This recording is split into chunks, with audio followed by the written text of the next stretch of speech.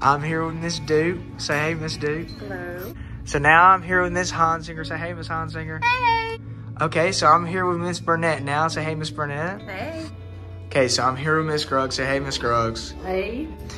And I've got a couple questions for you. Okay. The first one is, how has Miss Savely enhanced your teaching experience here at GTECHS? I think probably the most profound way is basically through giving us freedom.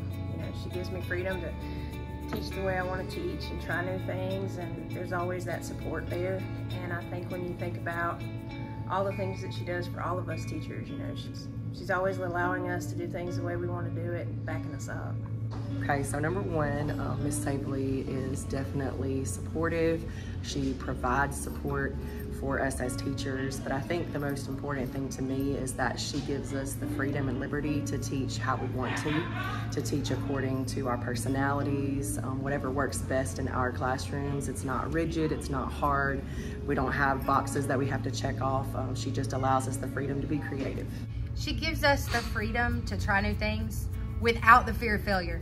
So we can be as adventurous as we want with our teaching. And if it doesn't work, we laugh it off and we can try something different. Well, one thing with Miss Savely, I think, and I, I had not realized everything before Miss Savely, but before I got here, I've been teaching for years and years and years, and I was just in this rut.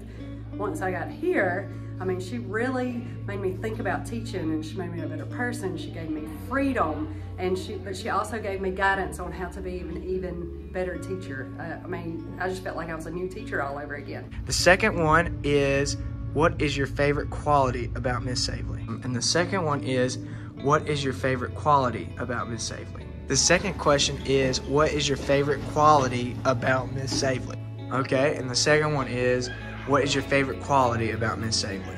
Um, I think my favorite quality about her is the compassion that I see her show towards students. Um, I feel like she gives opportunity after opportunity after opportunity. She's very patient. Um, she doesn't give up on kids, and I think that's really important um, that we need, you know, in, in just in today's society, just for kids to know that there's somebody who supports them and um, that she'll always have their back. consistency. She's the same Monday through Friday. You know, she's you can always count on her to be be the same, to be fair, to be consistent. What she tells you on Friday is what she's going to expect the following week, and, and so on and so forth. Things don't change. You always know what's expected. She's fair.